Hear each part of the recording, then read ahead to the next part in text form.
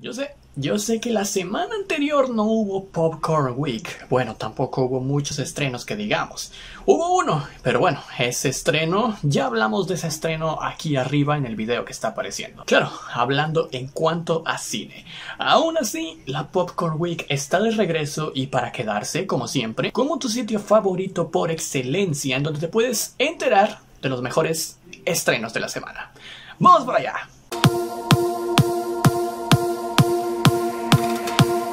Luz roja, luz verde, luz negra. Es el primer estreno que nos abre las puertas al cine, que se trata nada más y nada menos de una película de acción más protagonizada por Liam Neeson, en donde un arreglador del gobierno parecido a Bond James Bond reclutará a un periodista para ayudar a exponer a un programa secreto que está eliminando a ciudadanos ordinarios por razones misteriosas. La cinta llega hoy mismo a las pantallas de tu cine favorito.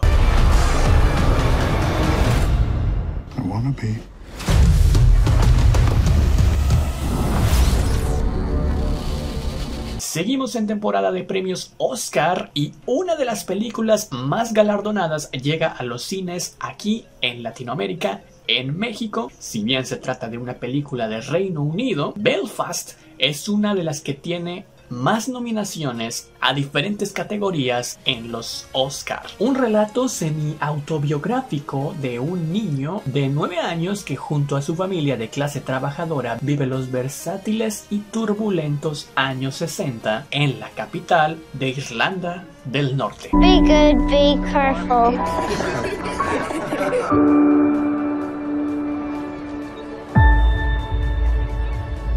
Si te gustan las comedias mexicanas, el cine también tiene algo para ti con la película llamada Cuarentones. Y no estamos hablando de los años 40 precisamente. Aquí, César está por cumplir 40 años y su vida dará un giro inesperado después de enterarse que su esposa le ha ocultado algo importante.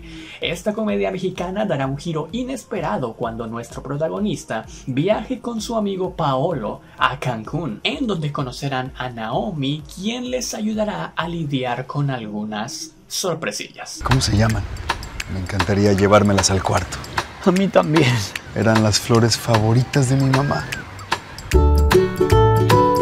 los estrenos de quien decide ir a disfrutar a una sala de cine no terminan ahí, porque cuando una terrible enfermedad se empieza a extender por los pasillos de un hotel, un par de víctimas tratarán de luchar por la supervivencia y de escapar del oscuro corredor de un horrible final. Y créeme, es una enfermedad horrible.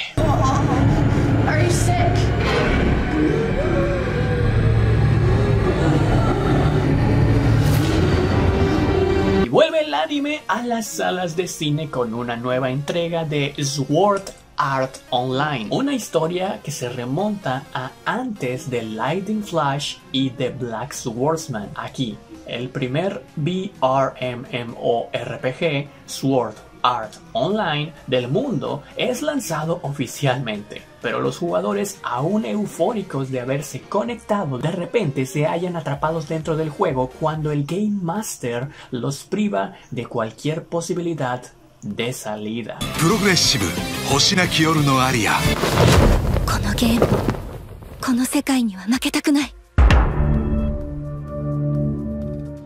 Llegamos a Netflix y también llega una nueva temporada de Supergirl el 10 de marzo y en esta ocasión nuestra contraparte femenina de Superman tendrá que lidiar con los problemas de revelar su identidad para poner a salvo a aquellos a los que más quiere. En el proyecto Adam y no Adam Warlock porque así se llama esta historia de Netflix, cual narra la historia de Adam Reed, un viajero del tiempo del año 2050 que se ha aventurado en una misión de rescate para buscar a Laura Gamora. Bueno, mejor dicho, soy Saldaña. Ok, ya paro con Marvel. La mujer que ama, que se perdió en el continuo espacio-tiempo en circunstancias misteriosas. Y ojo que yo no digo nada, pero película en la que aparece Zoe Saldaña.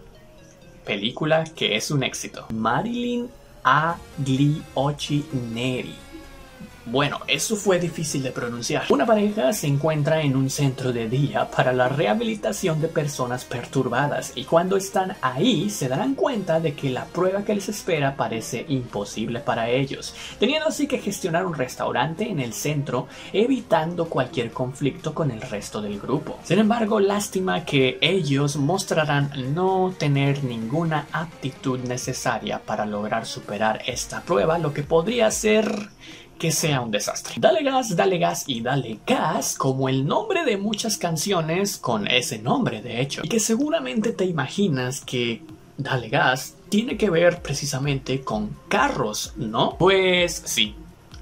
¿Creías que te iba a decir que no esta vez? No, eso es muy típico. Sí, sí tiene que ver con autos y después de un trágico accidente involucrando a los protagonistas Kike y Noche, escaparán ellos de Ciudad de México para lograr empezar una nueva vida. ¿Qué tal unas partitas para que te enseñen cómo se corre o qué? Arre. Eso. Y así es como llegamos a la plataforma azul más famosa del mundo de streaming, por supuesto, llamada Prime Video y con el estreno llamado Upload, una serie con una temática bastante interesante ambientada en el año 2033. En este mundo, las personas que están cerca de la muerte pueden ser subidas a una vida futura virtual que ellos elijan.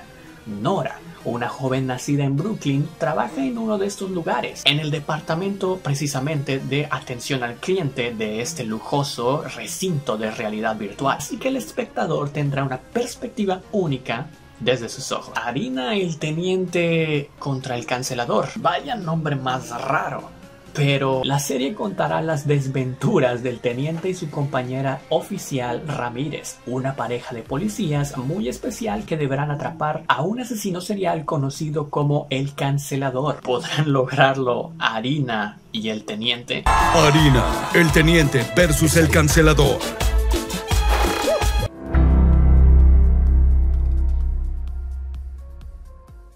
Llegamos a Apple TV, a la seriedad de Apple TV, como siempre decimos, y a la plataforma que tiene pocos estrenos, pero de gran calidad. ¿Pero qué es Ptolemy Gray? Bueno, la serie es un drama basado en la novela homónima de Walter Mosley y sigue la historia de Ptolemy Gray, un hombre enfermo que ha sido olvidado por sus amigos, su familia e incluso por sí mismo, pero que aún así nos dará una perspectiva de cómo esta inmiscusión en el personaje dará puerta a diferentes y nuevos tramas dentro del contexto que rodea a nuestro protagonista. And the river know right where it's going.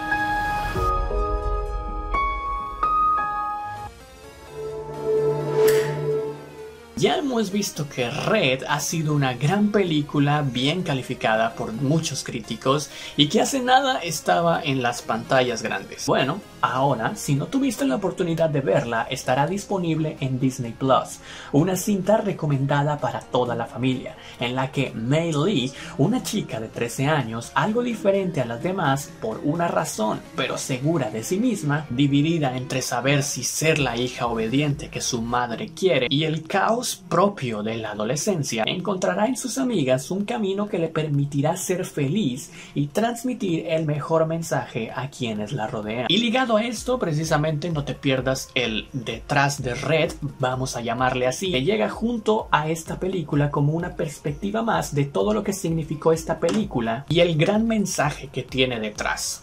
Ambas llegan el mismo día a Disney Plus.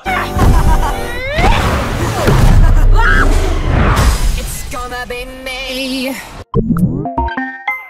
Y cerramos con un estreno que se puede disfrutar hoy mismo, 10 de marzo, en la plataforma de Movistar Plus. Y como lo dice el nombre, se trata de un documental que repasa toda la vida de Jackie Collins, desde su infancia a su rivalidad con su hermana Joan Collins, así como sus ideas sobre la libertad y el empoderamiento femenino para acabar convirtiéndose en un ícono feminista de los años 80. And she was divorced.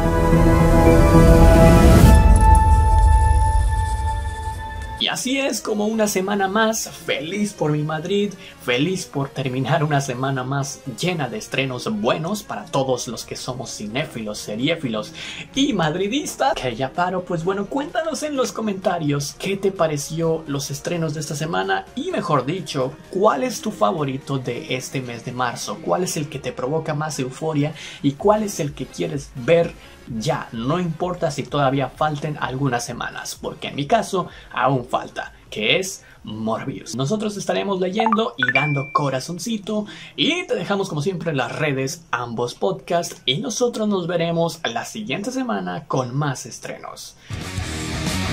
Bye.